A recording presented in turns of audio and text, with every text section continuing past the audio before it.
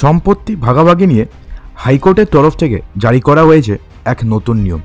হ্যাঁ বন্ধুরা, আপনি যদি ছেলে অথবা মেয়ে হয়ে থাকেন, অথবা আপনি যদি পিতা কিংবা মাতা হয়ে থাকেন, তাহলে সেক্ষেত্রে আপনার ছেলে মেয়েকে সম্পত্তি ভাগ করে দেওয়ার পূর্বে অবশ্যই কিন্তু এই নতুন নিয়মটি কিন্তু জেনে নেবেন। অন্যথায় কিন্তু আপনাদের অসুবিধার মধ্যে পড়তে হতে পারে।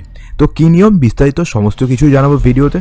তবে ভিডিওটি শুরু করার পূর্বে আপনি কি এই ধরনের খবর আরও জানতে চান? যদি জানতে চান, তাহলে অবশ্যই ভিডিওর কমেন্ট বক্সে হ্যাঁ কিংবা না জানাতে কিন্তু একদমই ভুলবেন দেশের আনাচে কোনাচে থেকে কিন্তু প্রায়শই এমনটা শোনা যায় যে ছেলে মেয়ে সম্পত্তি বাগিয়ে নিয়ে বাবা মাকে বাড়ি থেকে বের করে দিয়েছে।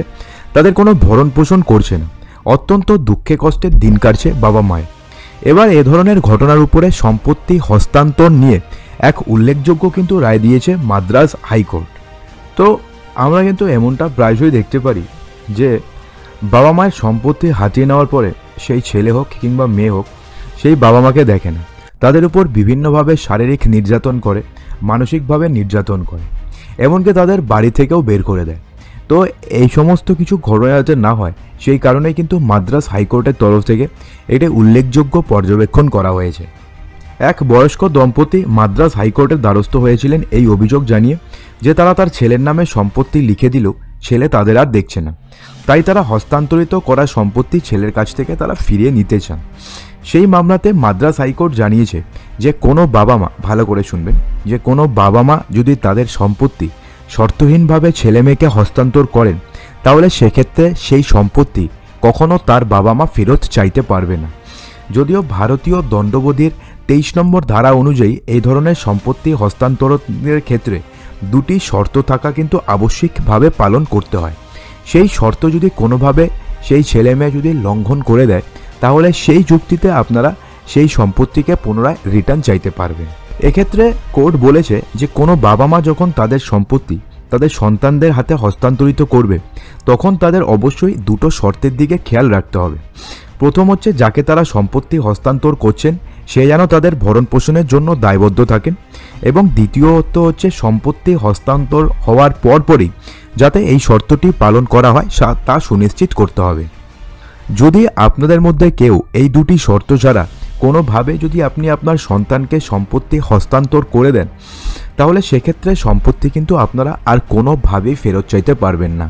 সেক্ষেত্রে আপনারা কোর্টে চলে যান, কলকাতা হাইকোর্টে চলে যান, যে কোনো হাইকোর্টে চলে যান, কিংবা আপনি সুপ্রিম কোর্টেও চলে যান না কেন, আপনি কিন্তু সেই সম্পত্তি কোনোভাবে রিটার্ন চাইতে পারবেন না।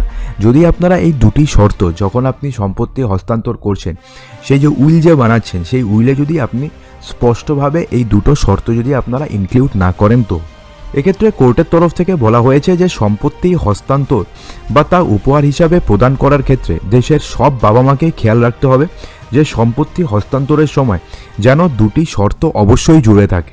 এক হচ্ছে সম্পত্তি হস্তান্তরের বিনিময়ে সন্তান বা সম্পত্তির প্রাপক তাদের ভরণ পোষণের জন্য দায়বদ্ধ থাকবে এবং দুই হচ্ছে সম্পত্তি হস্তান্তরের পর থেকেই সে যেন সেই দায়িত্ব পালন করে। কিন্তু শর্তহীনভাবে আপনি যদি কাউকে সম্পত্তি দিয়ে দেন, তাহলে সেক্ষেত্রে কিন্তু আপনি সেই সম্পত্তি আর ফেরত চাইতে পারবেন না। সেক্ষেত্রে আপনি যদি পিতামাতা হয়ে থাকেন এবং আপনাদের যদি সন্দেহ থাকে কিংবা সন্দেহ থাক কিংবা না থাক, আপনি যখন আপনার সম্পত্তি যখন আপনি আপনার ছেলেমেয়ের নামে যখন ভাগ করে দেবেন, তখন আপনি যে উইলটি বানাবেন, সেখানে কিন্তু এই দুটো কন্ডিশনকে অবশ্যই মেনশন করবেন। যে কন্ডিশনগুলো আপনারা এখনই দেখলেন, সেই কন্ডিশন যদি আপনারা মেনশন না করেন, তাহলে সেক্ষেত্রে কিন্তু আপনি কোনোভাবে সেই সম্পত্তিকে, অর্থাৎ আপনি যদি আপনার ছেলেমেয়েকে সম্পত্তি দিয়ে দেন, সেই সম্পত্তি কিন্তু রিটার্ন চাইতে পারবেন না। তো বন্ধুরা, আশা করব ভিডিওটিতে আপনাদের সমস্ত কিছু সঠিকভাবে বোঝাতে পেরেছি।